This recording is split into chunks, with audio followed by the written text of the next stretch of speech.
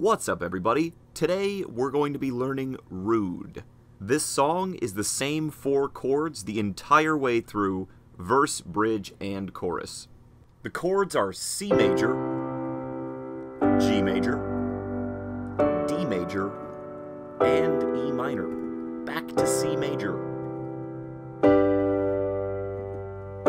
Now, I know you might be thinking to yourself, no way. There's no way it's this easy. You're oversimplifying things. Uh, absolutely not. It's really, it's really the same pattern the entire song.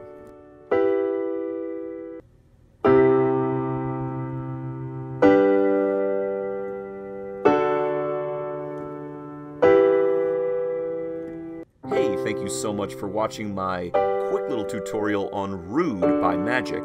I know I kept this one really short, but it's just so simple, and I kind of wanted to keep it that way. Subscribe for more music tutorials in the future. Why you gotta be so rude? This song made me millions of dollars!